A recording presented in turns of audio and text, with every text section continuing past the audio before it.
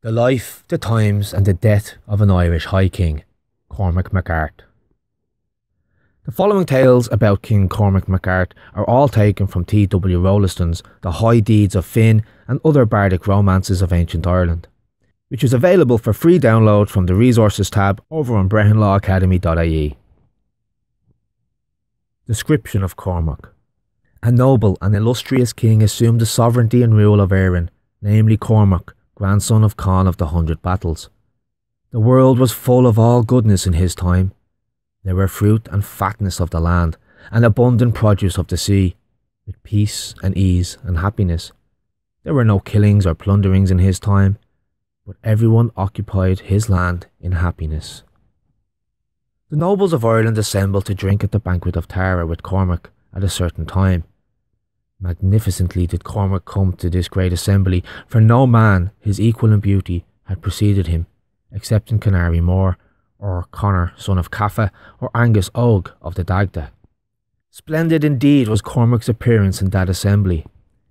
His hair was slightly curled and of a golden colour, a scarlet shield he had, with engraved devices and golden bosses and ridges of silver. A wide, folding purple cloak was on him with a gem-set gold brooch over his breast, a golden torque round his neck. A white-collared shirt embroidered with gold was on him. A girdle with golden buckles and studded with precious stones was around him. Two golden network sandals with golden buckles upon his feet, two spears with golden sockets, and many red bronze rivets in his hand, while he stood in the full glow of beauty, without defect or blemish. You would think it was a shower of pearls that were set in his mouth. His lips were rubies. His symmetrical body was as white as snow. His cheek was ruddy as the berry of the mountain ash. His eyes were like the sloe. His brows and eyelashes were like the sheen of a blue black lance. The birth of Cormac MacArt. Of all the kings that ruled over Ireland, none had a better and more loyal servant than was Finn McCool and of all the captains and counsellors of kings, none ever served a more glorious and a nobler monarch than did Finn for the time that he served Cormac, son of Art, son of Conn of the Hundred Battles. At the time at which this monarch lived and reigned, the mist of sixteen centuries hangs between us and the history of Ireland. But through this mist there shine a few great and sun-like figures whose glory cannot be altogether hidden, and of these figures Cormac is the greatest and the brightest. Much that is told about him may be true, and much is certainly fable, but the fables themselves are a witness to his greatness. They are like forms seen in the mist when a great light is shining behind it, and we cannot always say when we are looking at the true light, and when we are looking at the reflected glory. The birth of Cormac was on this wise. His father, as we have said, was Art, son of Conn, and his mother was named Acta being the daughter of a famous smith or ironworker of Connacht. Now, before the birth of Cormac, Octa had a strange dream, namely that her head was struck off from her body, and that out of her neck there grew a great tree which extended its branches all over Ireland and flourished exceedingly. But a huge wave of the sea burst upon it and laid it low. Then, from the roots of this tree, there grew up another, but it did not attain the splendour of the first, and a blast of wind came from the west and overthrew it. On this the woman started from her sleep, and she woke her husband Art, and told him her vision. It is a true dream, said Art. I am thy head, and this portends that I shall be violently taken from thee. But thou shalt bear me a son, who shall be king of all Ireland, and shall rule with great power and glory, until some disaster from the sea overtakes him.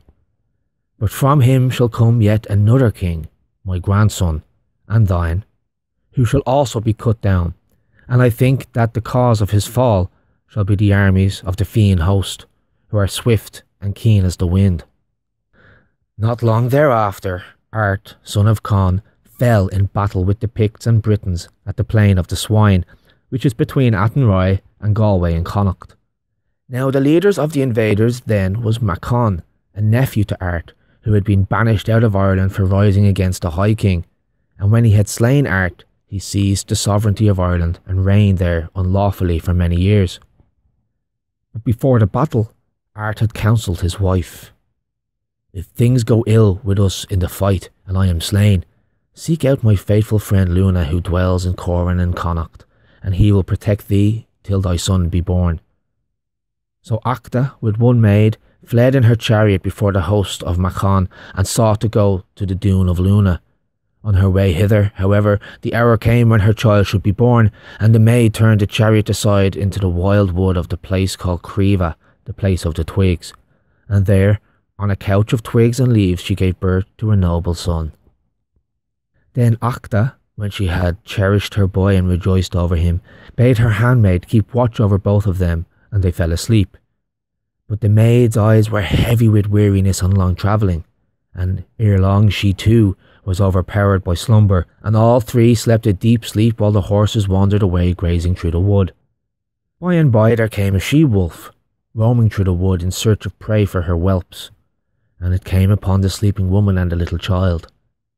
It did not wake the woman, but very softly it picked up the infant and bore it off to the stony cave that is hard by to Creva in the hill that was afterwards called Mount Cormac. After a while the mother waked up and found her child gone. Then she uttered a lamentable cry and woke her handmaid, and both the women searched hither and thither, but no trace of the child could they find. And thus Luna found them, for he had heard news of the battle and the death of his king, and he had come to succour Acta as he had pledged his word to do. Luna and his men also made search for the infant, but in vain, and at last he conveyed the two sorrowing women to his palace, but Acta remembered her prophetic dream and was somewhat comforted. Luna then proclaimed that whoever should discover the king's son, if he were yet alive, might claim of him what reward he would. And so the time passed till one day a man, Greg, a clansman of Luna, the lord of Coran, as he ranged the woods hunting, came on a stony cavern in the side of a hill, and before it he saw wolf cubs at play, and among them a naked child on all fours, gambolling with them, and a great she wolf that mothered them all. Right, cried Greg, and off he goes to Luna his lord. What wilt thou give me for the king's son? said he. What wilt thou have? said Luna. So Greg asked for certain lands, and Luna bound himself to give them to him and to his posterity, and there lived and flourished the clan Gregor for many a generation to come. So Luna, guided by Greg, went to the cave on Mount Cormac, and took the child and the wolf cubs all together and brought them home. And the child they called Cormac, or the chariot child. Now the lad grew up very comely and strong, and he abode with Luna in Connacht, and no one told him of his true descent. The Judgment of Cormac Once upon a time it happened that Cormac was at play with the two sons of Luna, and the lads grew angry in their play and came to blows and Cormac struck one of them to the ground. Sorrow on it, cried the lad. Here I have been beaten by one that knows not his clan or kindred, save that he is a fellow without a father. When Cormac heard that, he was troubled and ashamed, and he went to Luna and told him what had been said. And Luna, seeing the trouble of the youth, and also that he was strong and noble to look on, and wise and eloquent in speech, held that the time was now come to reveal to him his descent. Thou hadst indeed a clan and kindred, he said, and a father of the noblest, for thou art the son of Art, the High King of Ireland, who was slain and dispossessed by Mac Con. But it is foretold that thou shalt yet come to thy father's place, and the land pines for thee, even now. For there is no good yield from earth or sea under the unlawful rule of him who now sits on the throne of Art. If that be so, said Cormac, let us go to Tara and bide our time there in my father's house. So the two of them set out for Tara on the morrow morn, and this the retinue they had with them a bodyguard of outlawed men that had revolted against Mac Con and other lords, and had gathered themselves together at Coran under Luna, and four wolves that had been cubs with Cormac when the she wolf suckled him. When they came to Tara, the folk there wondered at the fierce eyed warriors and the grey beasts that played like dogs around Cormac and the lad was adopted as a pupil by the king to be taught arms and poetry and law. Much talk there was of his coming, and of his strange companions that are not wont to be the friends of man, and as the lad grew in comeliness and knowledge, the eyes of all were turned to him more and more, because the rule of Mac Con was not a good one. So time wore on, till one day a case came for judgment before the king, in which the queen sued a certain wealthy woman and an owner of herds named Benna, for that the sheep of Benna had strayed into the queen's fields and had eaten to the ground a crop of woad that was growing there. The king gave judgment that the sheep which had eaten the woad were to be given to the queen in compensation for what they had destroyed. Then Cormac rose up before the people and said, Nay, but let the wool of the sheep, when they are next shorn, be given to the queen, for the woad will grow again, and so shall the wool. A true judgment, a true judgment, cried all the folk that were present in the place. A very king's son is he that had pronounced it. And they murmured so loudly against Mac Con that his druids counselled him to quit Tara, lest a worse thing befall him. So he gave up the sovereignty to Cormac, and went southward into Munster to rally his friends there and recover the kingdom. And there he was slain by Cormac's men as he was distributing great largesse of gold and silver to his followers in the place called the Field of Gold. So Cormac, son of Art, ruled in Tara and was High King of all Ireland, and the land, it is said, knew its rightful lord and yielded harvests such as were never known, while the forest trees dripped with the abundance of honey and the lakes and rivers were alive with fish. So much game was there too that the folk could have lived on that alone and never put a ploughshare in the soil. In Cormac's time, the autumn was not vexed with rain, nor the spring with icy winds, nor the summer with parching heat, nor the winter with whelming snows. His rule in Erin, it is said, was like a wand of gold laid on a dish of silver. Also, he rebuilt the ramparts at Tara and made it strong, and he enlarged the great banqueting hall and made pillars of cedar in it, ornamented with plates of bronze, and painted its lime white walls in patterns of red and blue. Palaces for the women he also made there, and storehouses and halls for the fighting men. Never was Tara so populous or so glorious before or since, and for his wisdom and righteousness, knowledge was given to him that none other in Ireland had as yet. For it was revealed to him that the immortal ones who the Gael worshipped were but the names of one whom none can name, and that his message should ere long come to Ireland from over the eastern sea, calling the people to a sweeter and diviner fate. And to the end of his life it was his way to have wolves about him, for he knew their speech, and they his, and they were friendly and tame with him and his folk, since they were foster brothers together in the wild wood. Cormac sets up the first mill in Erin. During the reign of Cormac, it happened that some of the lords of Ulster made a raid upon the Picts in Alba and brought home many captives. Among them was a Pictish maiden named Kiernet, daughter of a king of that nation, who was strangely beautiful, and for that the Ulstermen sent her as a gift to King Cormac. And Cormac gave her as a household slave to his wife Etna, who set her to grinding corn with a hand quern, as women in Erin were used to do. One day, as Cormac was in the palace of the queen, he saw Kiernet labouring at her task and weeping as she wrought, for the toil was heavy and she was unused to it. Then Cormac was moved with compassion for the women that ground corn throughout Ireland, and he sent to Alba for artificers to come over and set up a mill, for up to then there were no mills in Ireland. Now there was in Tara, as there is to this day, a well of water called the Pearly, for the purity and brightness of the water that sprang from it, and it ran in a stream down the hillside, as it still runs, but now only in a slender trickle. Over this stream, Cormac bade them build the first mill that was in Ireland, and the bright water turned the wheel merrily round, and the women in Tara toiled at the kern no more. The instructions of the king. Cormac's wife Etna bore to Cormac a son, her firstborn, named Carbery, who was king of Ireland after Cormac. It was during the lifetime of Cormac that Carbery came to the throne, for it happened that ere he died, Cormac was wounded by a chance cast of a spear and lost one of his eyes, and it was forbidden that any man having a blemish should be a king in Ireland. Cormac therefore gave up the kingdom into the hands of Carbery.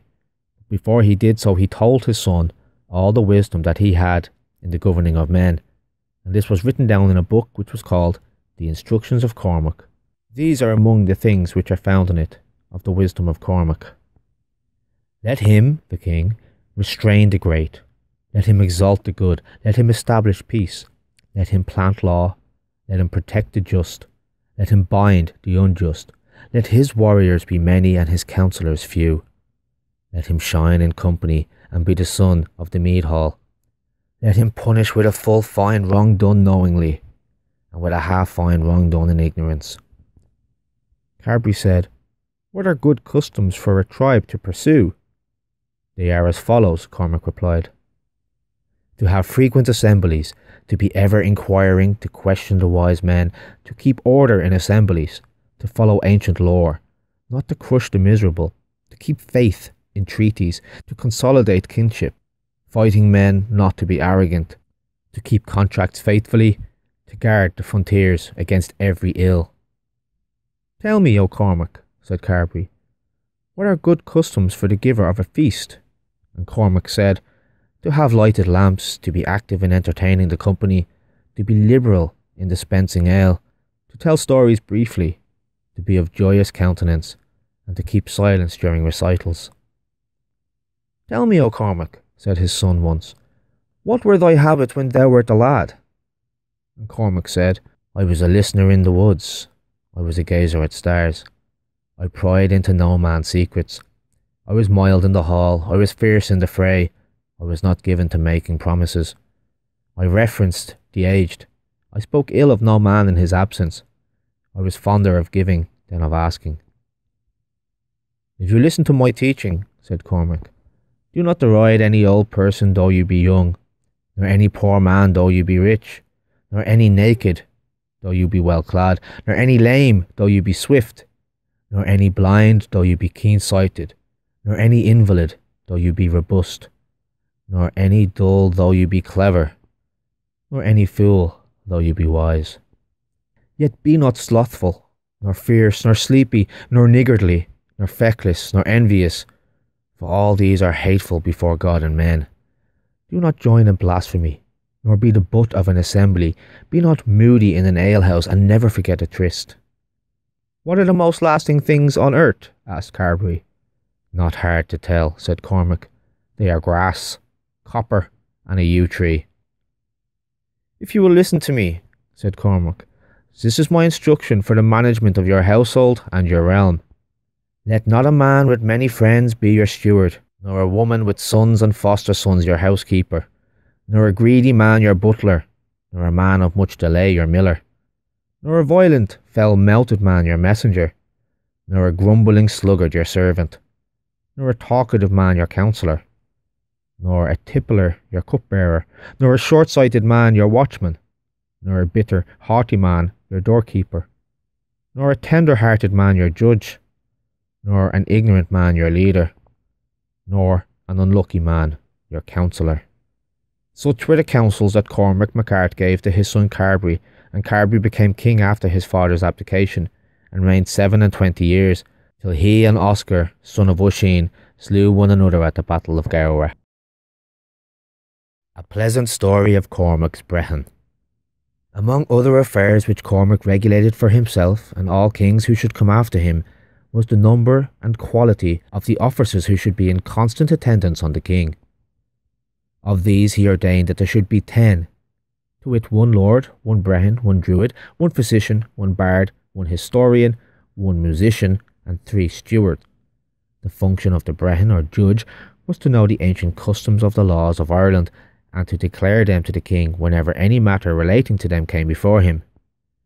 Now Cormac's chief brehon was at first one Fihil, but Fihil's time came to die, and his son Flaherty, a wise and learned man, trained by his father in all the laws of the Gael, was to be brehon to the High King in his father's stead.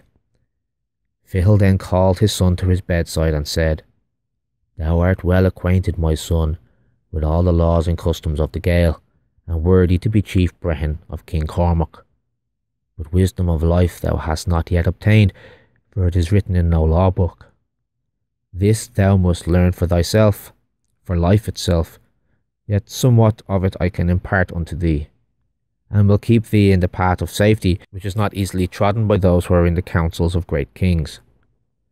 Mark now these four precepts, and obey them, and thou wilt avoid many the pitfalls in thy way. Take not a king's son in fosterage. Impart no dangerous secret to thy wife. Raise not the son of a serf to a high position. Commit not thy purse or treasure to a sister's keeping. Having said this, Fihel died, and Flaherty became chief Brehon in his stead. After a time, Flaherty thought to himself, I am minded to test my father's wisdom of life and to see if it be true wisdom or but wise seeming babble. For knowledge is no knowledge until it be tried by life. So he went before the king and said, If thou art willing, Cormac, I would gladly have one of thy sons in fosterage. At this Cormac was well pleased, and a young child of the sons of Cormac was given to Flaherty to bring up, and Flaherty took the child to his own dune, and there began to nurture and to train him as it was fitting. After a time, however, Flaherty one day took the child by the hand and went with him into the deep recesses of the forest, where dwelt one of the swineherds who minded the swine of Flaherty. To him, Flaherty handed over the child and bade him guard him as the apple of his eye, and to be ready deliver him up again when he was required. The Flaherty went home and for some days went about like a man weighed down by his gloomy and bitter thoughts. His wife marked that and sought to know the reason, but Flaherty put her off. At last, when she continually pressed him to reveal the cause of his trouble, he said, If them must needs learn what ails me, and if thou canst keep a secret full of danger to me and thee, know that I am gloomy and distraught because I have killed the son of Cormac. At this the woman cried out, Murderer, parricide, hast thou spilled the king's blood, and shall Cormac not know it, and do justice on thee? And she sent word to Cormac that he should come and seize her husband for that crime. But before the officers came, Flaherty took a young man, the son of his butler, and placed him in charge of his lands to manage them, while Flaherty was away for his trial at Tara. And he also gave to his sister a treasure of gold and silver to keep for him, lest it should be made a spoil of while he was absent. Then he went with the officers to Tara, denying his offence and his confession. When Cormac had heard all, and the child could not be found, he sentenced him to be put to death. Flaherty then sent a message to his sister, begging her to send him at once a portion of the treasure he had left with her, that he might use it to make himself friends among the folk at court, and perchance obtain a remission of his sentence. But she sent the messenger back again empty, saying she knew not of what he spoke. On this Flaherty deemed that the time was come to reveal the truth, so he obtained permission from the king to send a message to his swineherd before he died, and to hear the man's reply. The message was this that Murtough the herd should come without delay to Tara and bring with him the child that Flaherty had committed to him. Howbeit, this messenger also came back empty, and reported that on reaching Doon Flaherty, he had been met by the butler's son that was over the estate, who had questioned him of his errand, and had then said, Murtough the serf had run away as soon as he heard of his lord's downfall, and if he had any child in his care, he had taken it away with him, and he cannot be found. This he said because, on hearing of the child, he guessed what this might mean, and he had been the bitterest of all in urging Flaherty's death, hoping to be rewarded with a share of his lands. Then Flaherty said to himself, Truly the proving of my father's wisdom of life has brought me very near to death. So he sent for the king and entreated him that he might be suffered to go himself to the dwelling of Murtough, promising that the king's son should then be restored to him. Or if not, said he, let me then be slain there without more ado.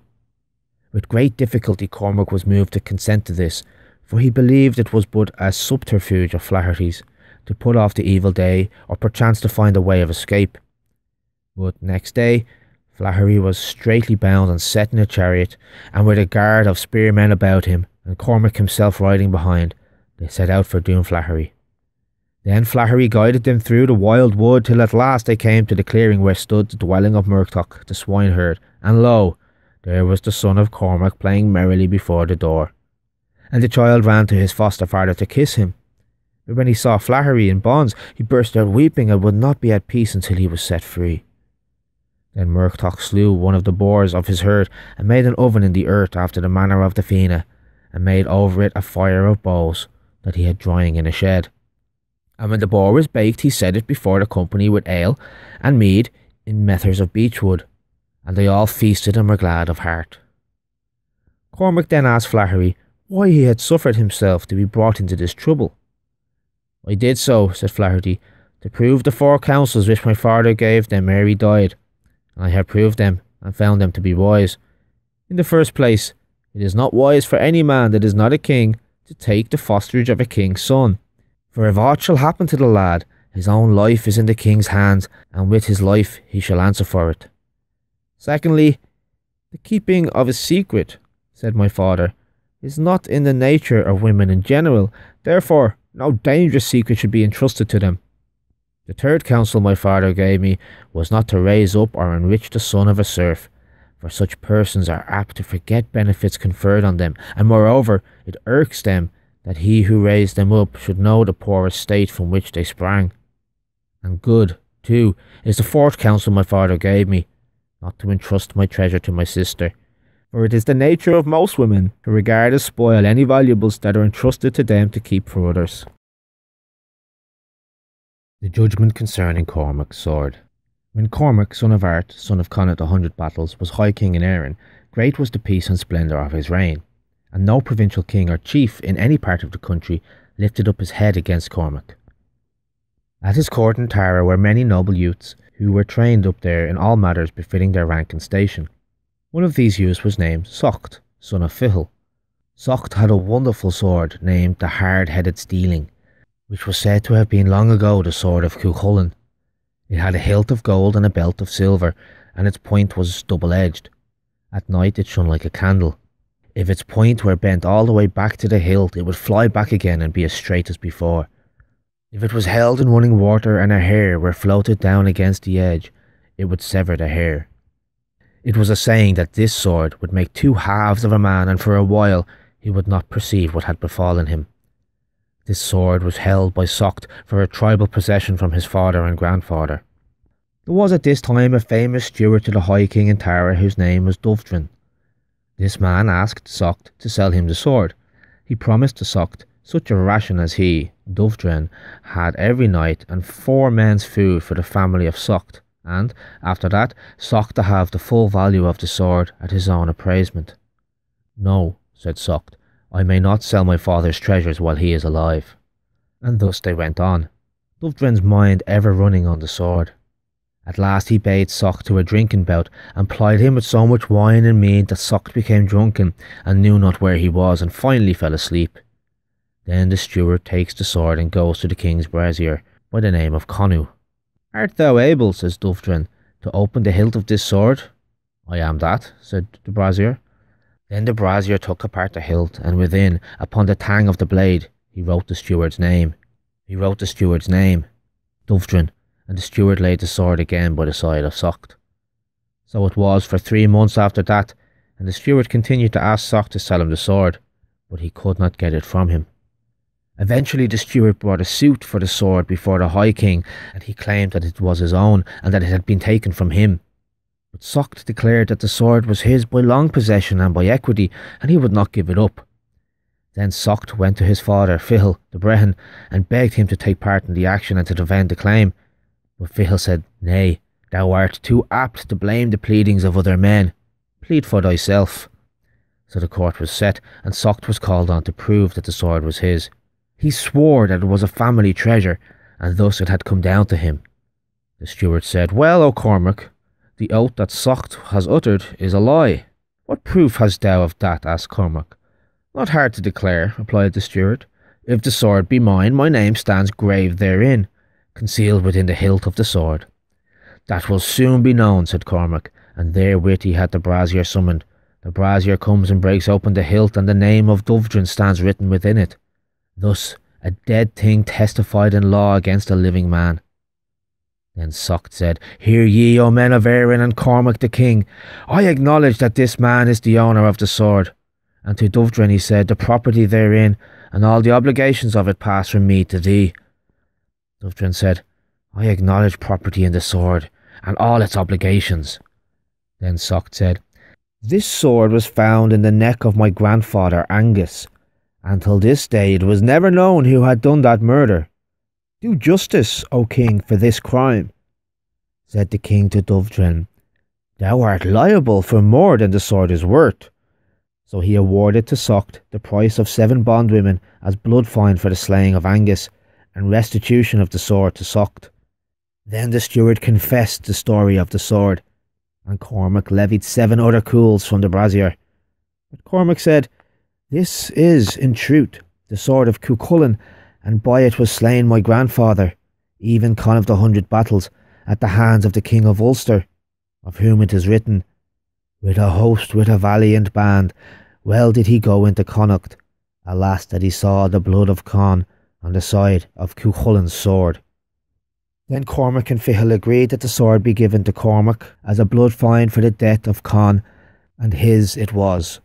And it was the third best of the royal treasures that were in Erin, namely Cormac's cup that broke if a falsehood were spoken over it, and became whole if a truth were spoken over it, and the bell branch that he got in Fairyland, whose music, when it was shaken, would put to sleep wounded men and women in travail, and the sword of Cuchulain, against which and against the man that held it in his hand, no victory could ever be won. The disappearance of Cormac. In the Chronicle of the Kings of Ireland that was written by Tierna, the historian, in the 11th century after Christ's coming, there is noted down in the annals of the year 248 the disappearance of Cormac, grandson of Conn, for seven months. That which happened to Cormac during these seven months is told in one of these bardic stories of Ireland being the story of Cormac's journey to Fairyland, and this was the manner of it. One day Cormac, son of Art, was looking over the ramparts of his royal doon of Tara when he saw a young man, glorious to look on in his person and his apparel, coming towards him across the plain of Bregia. The young man bore in his hand, as it were, a branch from which hung nine golden bells formed like apples. When he shook the branch, the nine apples beat against each other and made music, so sweet that there was no pain or sorrow in the world that a man would not forget while he hearkened to it. Does this branch belong to thee? asked Cormac of the youth. Truly it does, replied the youth. Will thou sell it to me? said Cormac. I never had aught that I would not sell for a price, said the young man. What is thy price? asked Cormac. The price shall be what I will, said the young man. I will give thee whatever thou desirest of all that is mine, said Cormac, for he coveted the branch exceedingly, and the enchantment was heavy upon him. So the youth gave him the bell branch and then said, My price is thy wife, and thy son, and thy daughter. Then they went together into the palace and found there Cormac's wife and his children. That is a wonderful jewel thou hast in thy hand, Cormac, said Eithne. It is, said Cormac, and great is the price I have paid for it. What is the price? said Eithne. Even thou and thy children twain, said the king. Never hast thou done such a thing, cried Eithne, as to prefer any treasure in the world before us three. And they all three lamented and implored, but Cormac shook the branch and immediately their sorrow was forgotten, and they went away willingly with the young man across the plain of Bregia until a mist hid them from the eyes of Cormac. And when the people murmured and complained against Cormac, for Eithne and her children were much beloved of them, Cormac shook the bell branch and their grief was turned into joy. A year went by after this, and then Cormac longed for his wife and children again. Nor could the bell branch any longer bring him forgetfulness of them. So one morning he took the branch and went out alone from Tara, over the plain, taking the direction in which they had passed away a year ago. And ere long, little wreaths of mist began to curl about his feet, and then to flit by him like long trailing robes, and he knew no more where he was. After a time, however, he came out again into sunshine and clear sky, and found himself in a country of flowery meadows and of woods filled with singing birds, where he had never journeyed before.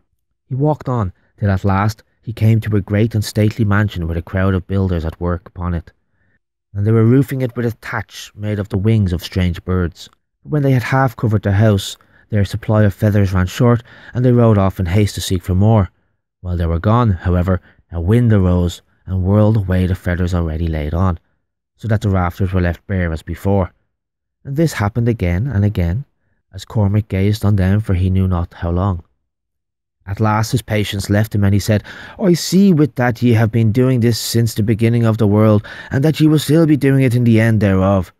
And with that he went on his way. And many other strange things he saw. But of them we say nothing now, till he came to the gateway of a great and lofty doon, where he entered in and asked hospitality. Then there came to him a tall man clad in a cloak of blue that changed into silver or purple as its folds waved in the light, and with him was a woman more beautiful than the daughters of men, even she of whom it was said her beauty was of that of a tear when it drops from the eyelid. So crystal pure it was and bright. They greeted Cormac courteously and begged him to stay with them for the night. Cormac then entered a great hall with pillars of cedar and many coloured silky hangings. In the midst of it was a fireplace, whereon the host threw a large log, and shortly afterwards brought in a young pig which Cormac cut up to roast before the fire.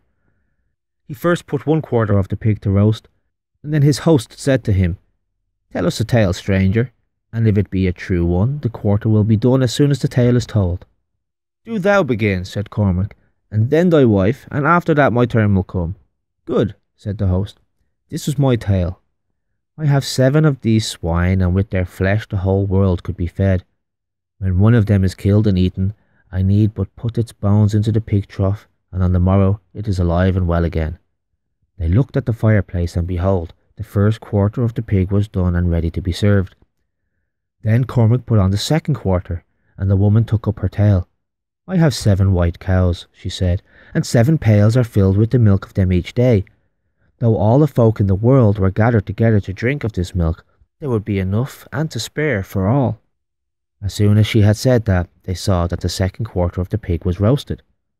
Then Cormac said, I know you now, who you are, for it is Manannán that owns the seven swine of Faery, and it is out of the land of promise that he fetched Fand, his wife, and her seven cows. Then immediately the third quarter of the pig was done.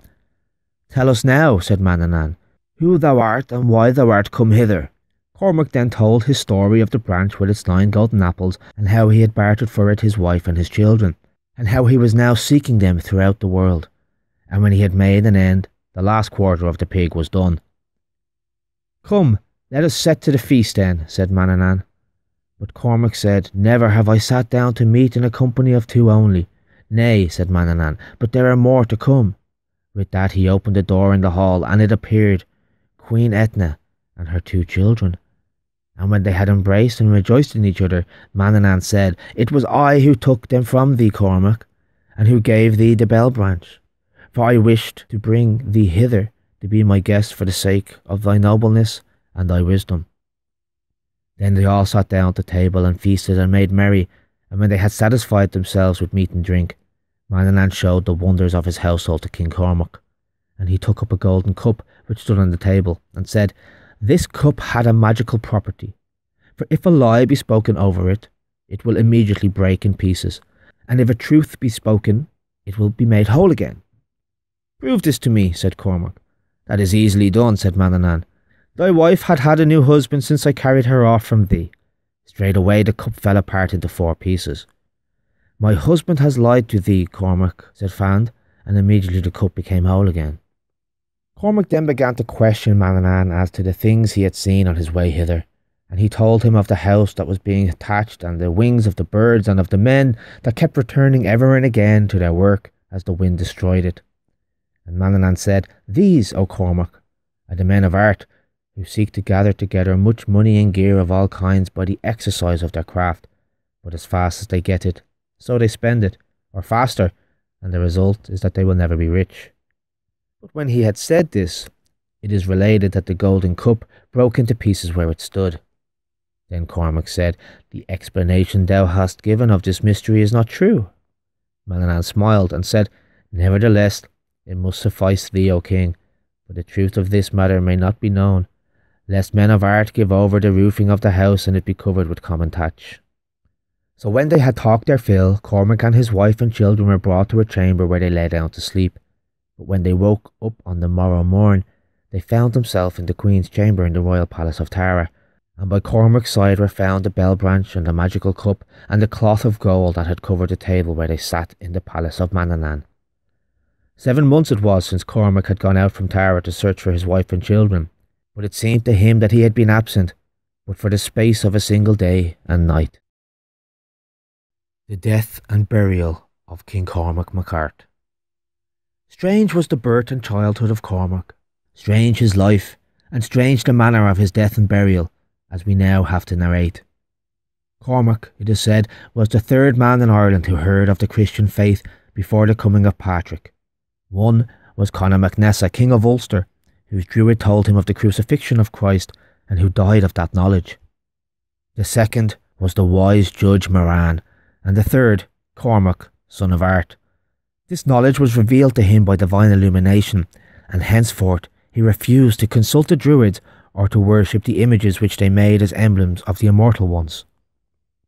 One day it happened that Cormac, after he had laid down the kingship of Ireland, was present when the Druids and a concourse of people were worshipping the great golden image which was set up in the plain called Moislocht. When the ceremony was done, the chief Druid, whose name was Moylan, spoke to Cormac and said, Why, O Cormac, didst thou not bow down and adore the golden image of the god like the rest of the people? And Cormac said, Never will I worship a stock that my own carpenter has made. Rather would I worship the man that made it, for he is nobler than the work of his hands. Then it is told that Moylan, by magic art, caused the image to move and leap before the eyes of Cormac. Seest thou that? said Moylan. Although I see, said Cormac, I will do no worship save to the God of heaven and earth and hell. Then Cormac went to his own home at Sletty on the Boyne, for there he lived after he had given up the kingdom to his son Carbery. But the Druids of Erin came together and consulted over this matter, and they determined solemnly to curse Cormac and invoke the vengeance of their gods upon him, lest the people should think that any man could despise and reject their gods and suffer no ill for it. So they cursed Cormac in his flesh and bones, in his waking and sleeping, in his down sitting and his uprising, and each day they turned over the wishing stone upon the altar of their god, and wove mighty spells against his life. And whether it was that these took effect, or that the Druids prevailed upon some traitorous servant of Cormac's to work their will, so it was that he died not long thereafter and some say that he was choked by a fishbone as he sat at meat in his house at Sletty on the Boyne. But when he felt his end approaching and had still the power to speak, he said to those that gathered round his bed, When I am gone, I charge you that you bury me not at Brugh of the Boyne, where is the royal cemetery of the kings of Erin. For all of these kings paid adoration to gods of wood or stone, or to the sun and the elements, whose signs are carved on the walls of their tombs but I have learned to know the one God, immortal, invisible, by whom the earth and heavens were made. Soon there will come into Erin one from the east who will declare him unto us, and then wooden gods and cursing priests shall plague us no longer in this land. Bury me then not at Brugh na Boyna, but on hither side of Boyne at Rosnaree, where there is a sunny, eastward sloping hill. There I would await the coming of the Son of Truth. And there was a very great mourning for him in the land. But when the time came for his burial, the princes and lords of the Gael vowed that he should lie in Brugh with Art, his father, and Conn of the Hundred Battles, his grandfather, and many other king, in the great stone chambers for the royal dead. For Rosnaree, they said, is but a green hill of no note, and Cormac's expectation of the message of the new god they took to be but the wanderings of a dying man. Now Brugh na Boyna lay at the farther side of the Boyne from Sletty, and nearby was a shallow ford where the river could be crossed. But when the funeral train came down to the ford, bearing aloft the body of the king, lo! The river had risen as though a tempest had burst upon it at its far off sources in the hills, and between them and the farther bank was now a broad and foaming flood, even so, they made the trial of the ford, and thrice the bearers waded in, and thrice they were forced to turn back, lest the flood should sweep them down. At length, six of the tallest, mightiest of the warriors of the High King took up the bier upon their shoulders and strode in. And first the watchers on the bank saw the brown water swirl about their knees, and then they sank thigh deep, and at last it foamed against their shoulders, yet still they braced themselves against the current moving forward very slowly as they found foothold among the slippery rocks in the riverbed. But when they had almost reached the midstream, it seemed as if a great surge overwhelmed them and caught the bier from their shoulders as they plunged and clutched around it. And they must needs make back for the shore as best they could, while Boyne swept the body of Cormac to the sea. On the following morning, however, shepherds driving their flocks to the pastures on the hillside of Rosnaree found cast upon the shore the body of an aged man of noble countenance, half wrapped in a silken pall. And knowing not who this might be, they dug a grave in the grassy hill, and there laid the stranger, and laid the green sods over him again. There still sleeps Cormac the King, and neither ogham lettered stone nor sculptured cross marks his solitary grave, but he lies in the place where he would be, of which a poet of the Gael in our days has written. A tranquil spot, a hopeful sound, comes from the ever youthful stream, and still on daisied mead and mound the dawn delays with tenderer beam. Round Cormac spring renews her buds, in March perpetual by his side. Down come the earth fresh April floods, and up the sea fresh salmon glide, and life and time rejoicing run from age to age their wonted way. But still he waits the risen sun, for still 'tis only dawning day.